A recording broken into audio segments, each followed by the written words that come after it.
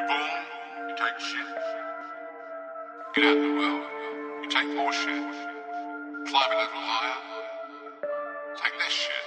Till one day you're up in the rarefied atmosphere, and you've forgotten what shit even looks like.